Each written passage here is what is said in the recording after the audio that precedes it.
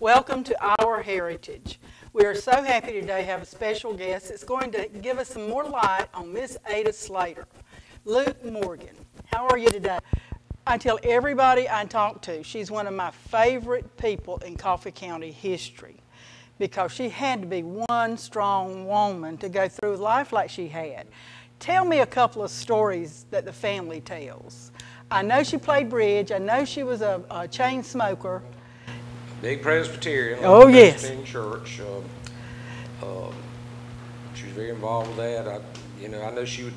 Every summer she'd go up to the High Hampton Inn and lease her house to the back, out to the back of ours. Um, um, she, uh, you know, early on, she, you know, after her husband died, she, I'm sure she's probably the wealthiest woman in town, and she helped a lot of people in business.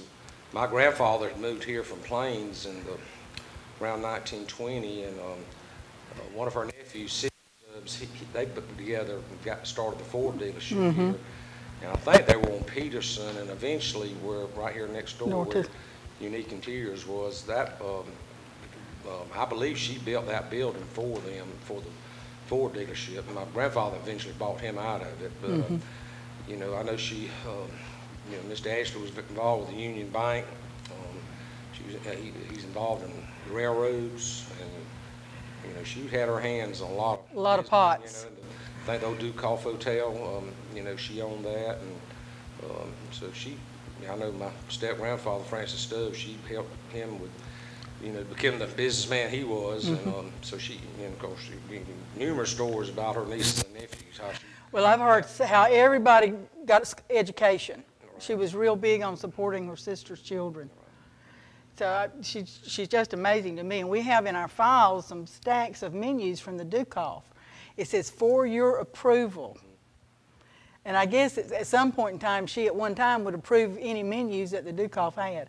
I just thought that was amazing. And I, you know, I- I've heard my mother talk about she'd go to New York, to, you know, every year to buy her clothes, and you know, I think she went to Europe, you know, travel you know, Right. extensively, you know, and um, you know, read a led a very interesting life, even though she had a lot of sadness in her life too, you know, at the same time, you know. Well, we have some pictures back there that show her as a, as a character. She's funny, laughing, making faces, and all this stuff. So, but you remember her later in life. Well, I, you know, I can just remember going by and seeing her at the house. Right. She was in kind of bedridden then. Right. I remember the house just being dark and gloomy, and but uh, she, she, you know, she was had a very commanding pr- presence. tell she was a tough cookie. I mean, you know, people didn't push her around too much. You know. See, that's what I like strong women. But, um, um, but she, uh, I'm trying to think some other things I might know about her, but, uh, but I, I know she just, you know, uh, like I said, looked after so many people, her family, you know. She was very f- fond of, um, particularly her great niece, who, who was named after her. Her name was Ada Alice, after um, her grandmother Alice, who was one of uh, Miss Slater's sisters. But um, she was very fond of her. Husband ended up uh, starting Club Car in Augusta. She's actually Ah. still alive today. She's in her 90s, but um, I, you know, I think in the will she left her some, you know, several pieces of her jewelry and things. I think Joanne actually talked to her. right, ago, yeah. You did an interview with her. with her, right, you know. And uh, Catherine Tanner, who's uh, one of her nieces, I, you know, I got to know her later in life, and you know, she shared shared a lot of stories with me. And her mother, you know, there was two other there was several Right. children. You know, Right. um, Miss Ada, I mean not Miss Ada, Miss Alice. No, not that's not Pearl and um, what's the other one's name? Lived down the street in uh, where uh, Mary Lou Gillespie. Mary. Gillu- Gillespie's house, right. Lived there. And I know she kind of, you know, looked after them. Uh, uh, she's a, you know, she came from Alamo. Right, Wheeler County. Right. Um, um, Her mother was a McCray, um, which is the Jane Wade's Right. family. That- Right. They're all out of the same, you know, family out of you know, Telfair and um, Wheeler County, all the McCrays over there. You know, one of her sisters um, married my great-great-uncle, and I, he'd come to Douglas in about 1895 and graduated from law school at Georgia. And uh, where he actually met her, her, name was Matt, Aunt Yeah. Matt. And um, I've got a little article where they all, my, my great grandmother, her sister, and all took the train up to Alamo for the wedding. Oh, nice. but- they built that house there on Gaskin, you know, in 1898. Mm-hmm. And, um, uh, But I I presume she came down here visiting hers, how she met Mr. Ashley. Well, that's, that's what the story is. She came to visit her sisters and, and met Mr. Ashley. Which is good. When you, the group of men- gentlemen bought the house, was there any original furniture left? There was um, her big, real, real nice writing desk, which Mm-hmm. uh, is in the little study downstairs. Her sofa was there. Um, There were several other um, pieces that um, um, we were able to acquire Right. from, from Betty Mullis. Oh, okay. so I know the sofa in the living room, there's a couple of side chairs. Um, You know, the de- that desk, uh, uh, there's that big tall cane chair that's in the foyer, that was hers. So we did get, you know. Well, that's we were able to good. Acquire a few of her pieces, you know. I know it's easy to get period pieces, but it's nice to have something that was hers. Right, right. You have anything else you'd like to share with us today? Well, anything else you want to know about her? 'Cause I, I tried to think of something, anything else. I One of the stories that I heard was that she loved to play bridge and she loved the college faculty staff. I guess because they were more worldly traveled or erudite, whatever. But Horace Laird and um, Shirley Fails. Fails, they played bridge Right. constantly. You know, I think Horace actually lived over there with her for a while. I think he roomed there one time. Yeah, and, um, yeah, they, you know, uh, if anybody knew Shirley, you know, she was just an avid, avid reader and Right. a bridge player too, you know, and I know she was very close to her. I just wish we had more Miss Adas today. Right, I do I too. like Miss Adas. Thank you for coming, Okay, Luke. I appreciate Thank it. you. We'll be right back.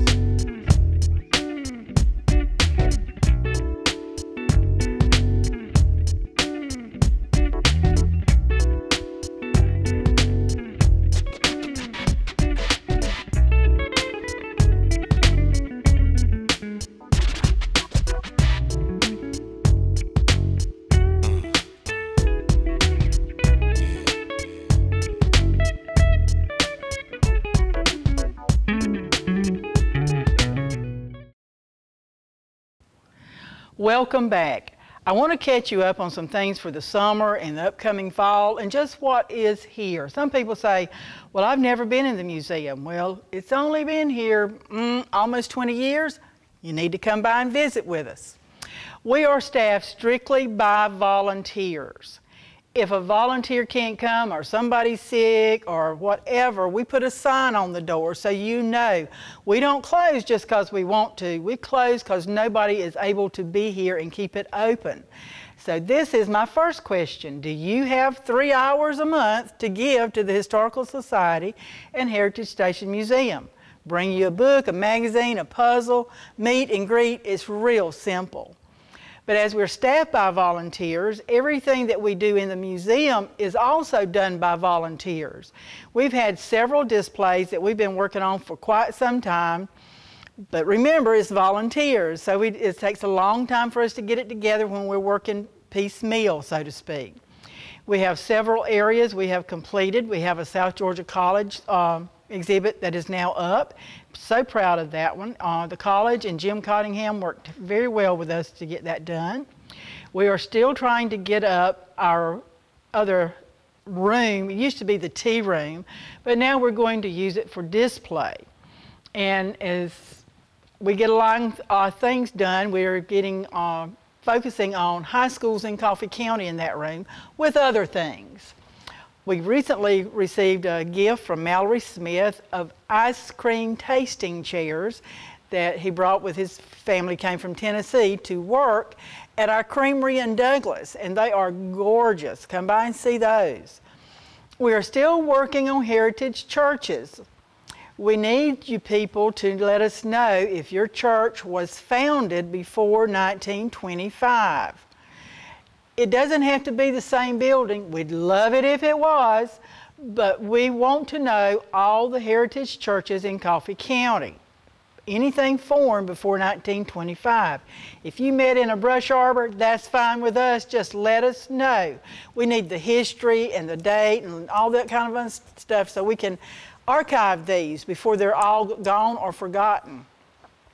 We're also uh, working on our American African American achievement, achievement leaders, and we have done this where we are focusing on people that have given back in a positive manner to the community over a lifetime or 20 years. Uh, you know, if you give 20 years of service in some field, that is a lot. And if, if you are the, one of those people or you know one, please let us know. We have a volunteer that's trying to get that information.